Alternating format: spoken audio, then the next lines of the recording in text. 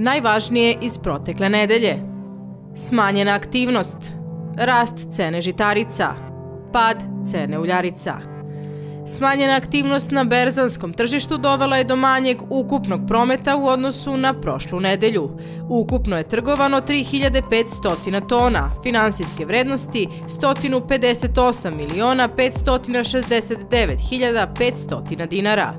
Cene žitarica beležile su rast, dok je na tržištu uljarica uočen negativan cenovni trend. Početkom nedelje bila je primetna veća ponuda kukuruza starog roda. Međutim, kako je nedelja odmicala, ponuda se smanjivala. Sa druge strane, kada je reč o novom rodu, primetno je odsustvo ponude većih količina.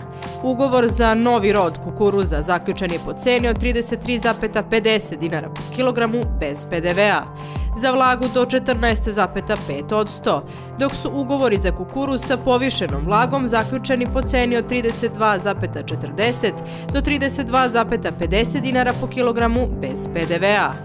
U trgovanju najviše je bila prisutna pšenica.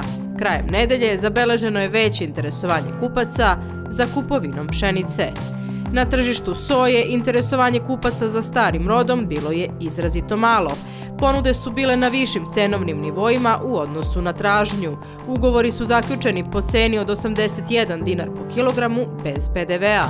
Tražnja novog roda soje tokom cele nedelje bila je na nižem cenovnom nivou u odnosu na ponudu. Usled rasta tenzija sa Rusijom, cene svih roba rasle su u drugoj polovini nedelje u Čikagu. Cene soje trpele su zbog pada kineskog uvoza. Očekivani obim setve u Brazilu ograničava potencijal rasta. Najveći cenovni rast zabeležen je kod pšenice zbog trenutne neizvestnosti u pogledu održivosti koridora koji omogućava Ukrajini izvoz žitarica. U Francuskoj slabi prinosi kukuruza doveli su do novog snižavanja procene proizvodnje ove žitarice.